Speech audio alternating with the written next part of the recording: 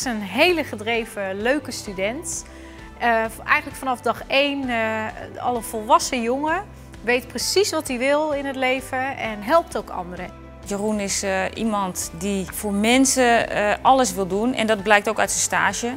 Hij heeft Marga geholpen om te leren lopen. Dat betekent dat zij gewoon redzaam kan zijn in haar eigen huis.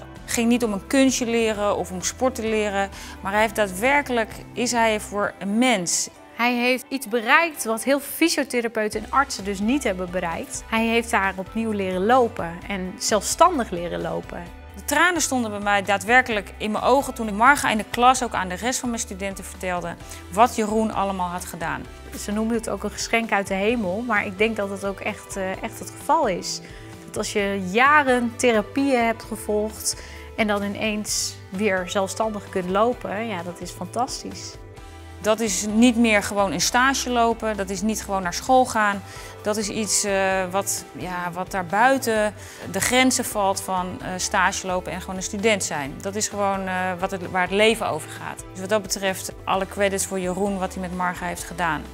Dus het is echt geweldig. We hebben echt een hele speciale student in huis. Iemand die daar niet mee te koop loopt. Dat vind ik echt, dat siert hem. Hij, uh, hij mocht echt met trots mocht hij dus dit vertellen. Want welke, welke student bereikt dit? Ja, die Jeroen, dat is gewoon echt een kanjer van een student. Is heel erg betrokken bij uh, bijvoorbeeld Marga, mensen die die les geeft, maar ook bij zijn klasgenoten. Hij staat altijd klaar voor mensen. Hij is heel beleefd. Hij denkt eerst aan anderen en dan aan zichzelf.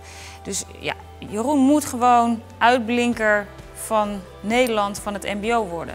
Hij helpt ook anderen en dat vind ik gewoon echt, ja, dat vind ik echt een typische uitblinker. Iemand die, uh, die niet alleen zelf wil uitblinken, maar juist samen met anderen dat doet. En dat, uh, ja, dat is echt uh, kenmerkend voor Jeroen.